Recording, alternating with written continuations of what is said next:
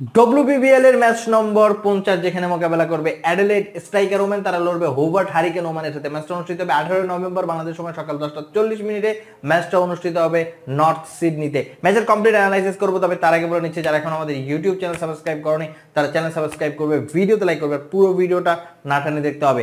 প্রথমে হচ্ছে point table সবচেয়ে গুরুত্বপূর্ণ, কারণ একেবারে শেষ সময়ের টুর্নামেন্টের মাত্র দুটো করে ম্যাচ বাকি আছে।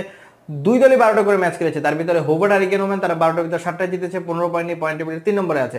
আর অ্যাডেলেট স্ট্রাইকার ওমেন তারা ম্যাচ খেলেছে বারোটা ম্যাচ, জিতেছে ছয়টা, তাদের পয়েন্ট হচ্ছে তেরো পয়েন্ট টেবিলে তারা আছে যে পাঁচ নম্বরে। চার নম্বর হচ্ছে পার্চেস করচার সোমান তারাও কিন্তু তেরো পয়েন্টে আছে। কিন্তু নেট রানের যথেষ্ট পরিমাণ ভালো এই পার্চেস করচার্স ওম্যানের জন্য। সেই হিসেবে এই ম্যাচটা অ্যাডেলেট স্ট্রাইকার ওম্যানের জন্য গুরুত্বপূর্ণ। যদি তারা এই ম্যাচটা হারে, আমি মনে করি তাদের এই বছরের বিগ ব্যাশের তাদের আর কোনো সুযোগ নেই। এই ভিডিওটার স্পন্সর হচ্ছে ম্যাচ উইনার। তোমরা যারা এই ম্যাচে কে জিতবে সেটার প্রেডিকশন জানতে চাও, তারা অবশ্যই স্ক্রিনে যে নাম্বারটি আছে, সে নাম্বারটি হচ্ছে তাদের ইমো নাম্বার এই ইমো নাম্বারে মেসেজ করার মাধ্যমে তোমরা তোমাদের নিজ দায়িত্বে জেনে নিতে পারো এই ম্যাচের ফাইনাল প্রেডিকশন যদিও কাগজে কলমে অনেক সুযোগ আছে, সেই হিসাব করলে কিন্তু ওই মেলবোর্ন স্টার্সেরও সুযোগ আছে, তারাও দশটা পয়েন্টে আছে তাদেরও ম্যাচ দুইটা বাকি আছে, ওই দুইটা জিতলে তারাও চোদ্দ পয়েন্টে চলে যাবে। যেহেতু চারটা দল যাবে ইকুয়েশন এখনও টাফ বাট এই ম্যাচটা স্ট্রাইকারের জন্য খুবই খুবই গুরুত্বপূর্ণ। সাথে গুরুত্বপূর্ণ কিন্তু ওই হোভার হারিকেনের জন্য, তাদেরও কিন্তু এক দুইতে যাওয়ারও একটা চান্স আছে। আমি যদি একটু বলি হোভার্ড হারিকেন লাস্ট ম্যাচটা জয়লাভ করেছে অ্যাডেলাইড স্ট্রাইকার টানা দুটো ম্যাচে হেরেছে, অর্থাৎ তাতে কনফিডেন্সটা কিছুটা ডাউন থাকবে।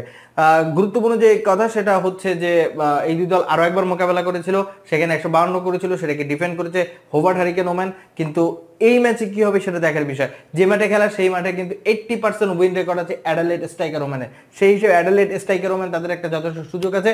এই ম্যাচটাতে ভালো করার বা জেতার যেহেতু এই মাঠের রেকর্ড তাদের জন্য ভালো। খেলাটা একেবারেই সকালে টসে জিতলে আগে ব্যাট করা উচিত, একটা রান করতে পারলে ওয়ান ফিফটি করতে পারলে সেটা উইনিং রান হবে। যদিও এখানে ওভারঅল সর্বশেষ তিনটে ম্যাচে তিনটে ম্যাচের ভিতর দুইটা ম্যাচে পরে ব্যাট করা দল জয়লাভ করেছে। আর যেই ম্যাচটা ডিফেন্ড হয়েছে, সেটা একশো তেতাল্লিশ রান ডিফেন্ড হয়েছে। তার মানে আপনি যদি আগে ব্যাটিং করেন ওয়ান ফিফটি করতে পারেন আমি মনে করি আগে ব্যাট করে ওয়ান ফিফটি করাটা ভালো, যদি ওভারঅল রেকর্ড পরে ভালো। পরে ব্যাটের রেকর্ড ভালো। বাট এখানে রেকর্ড না, এখানে মাঠের ব্যাপার, খেলাটা দিনে খেলা।